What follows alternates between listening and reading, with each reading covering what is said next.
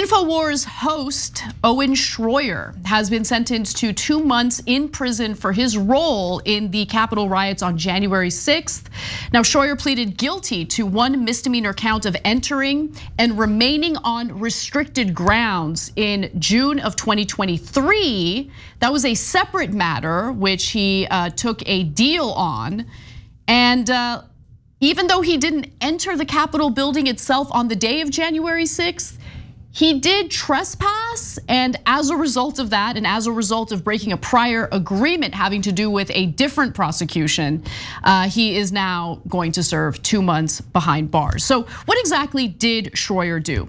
So, prosecutors charged Shroyer because he had previously signed a deferred prosecution agreement after interrupting a congressional hearing in 2019. It was actually an impeachment hearing uh, for President Trump at the time, and had agreed as part of that case not to utter loud, threatening, or abusive language or to engage in any disorderly or disruptive conduct at any place upon the United States Capitol grounds. Well, he kind of broke that promise, and as a result, he violated the deferred prosecution agreement. Now, uh, court documents state that in the weeks prior to the Capitol riots, Shroyer spread election disinformation on the InfoWars show that he hosts, which is unsurprising to me considering what InfoWars is really branded as.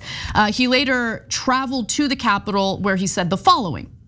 In a video posted to the InfoWars website on January 5th, 2021, Shroyer gave an address in Freedom Plaza in Washington, D.C., during which he stated, Americans are ready to fight. We're not exactly sure what that's going to look like, perhaps in a couple of weeks if we can't stop this certification of the fraudulent election. We are the new revolution. We are going to restore and we are going to save the republic.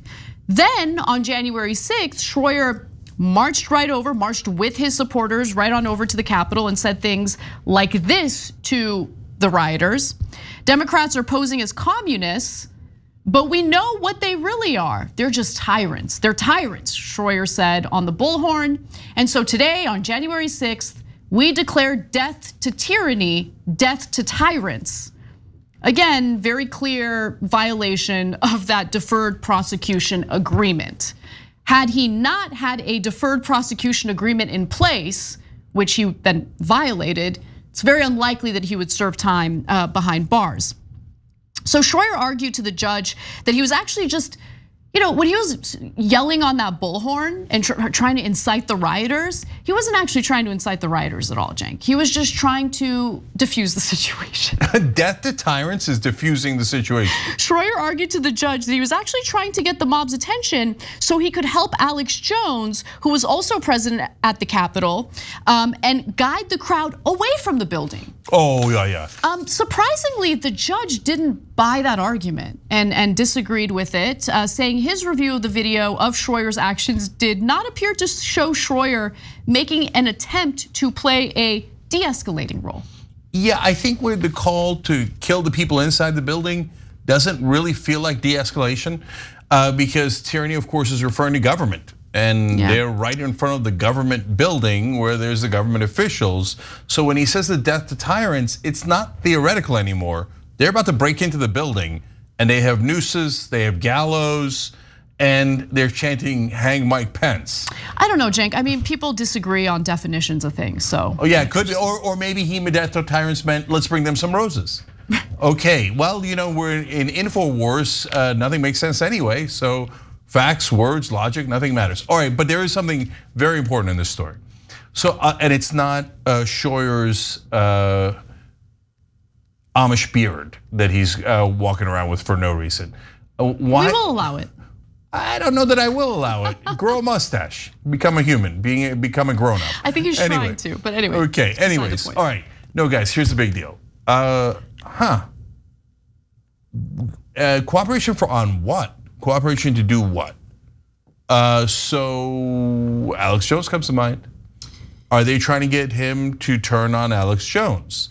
And so, look, by the way, sure, does the same thing that the coward Alex Jones and the coward Donald Trump did. Go into the building, go get him. Oh, you can't get killed, death to tyrants. Ah! We'll see you guys later. They go grab a sub. go grab a sandwich or a steak or something. They're like, yeah, we're not gonna go with the schmucks. These are the same idiots that we sell penis pills to and brain pills to. Yeah, you guys go commit the crimes and we're gonna go hang out and have a fancy lunch with Trump or whatever. But incite, incite, incite, and then run away like little bitches. And so that's Shroyer and Alex Jones for you. The only question is whether they've turned on each other. Yeah, you know, I, I don't know. I don't know what the cooperation part of this story really means or what it entails. Um, I know that prosecutors, in regard to his involvement on January 6th, had initially asked for 120 days uh, for his sentence, uh, but he eventually uh, received 60 days, meaning two months behind bars.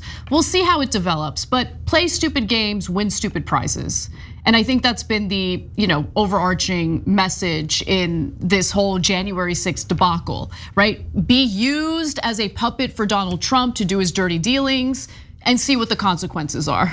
and the consequences have been very dire uh, for many of these people. The fact that he got two months behind bars is honestly a very lucky sentence considering what others have been sentenced to. So there's a million differences between the progressives and the planet uh, lunatic.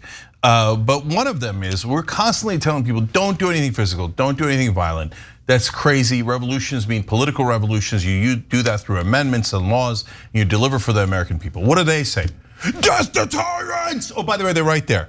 Okay, and uh, oh, the shootings are no big deal. They're all crisis actors anyway. The real problem is the parents. And so they have the lunatics go chase the parents around the country uh, nearly kill them, etc. And then he has to pay a giant thing, and now he's basically trying to figure out how to money launder all of his money so that he doesn't uh, comply with court orders. They don't believe in law and uh, order at all. They don't believe in the rule of law, and and so look, but you know, from time to time I make a plea to Republican voters because half of them are cuckoo, but half of them just are frustrated and they have the same problems that we do. They've just been misdirected, right? I make no plea to Alex Jones' audience. You guys go nuts. Oh, too late. You already are.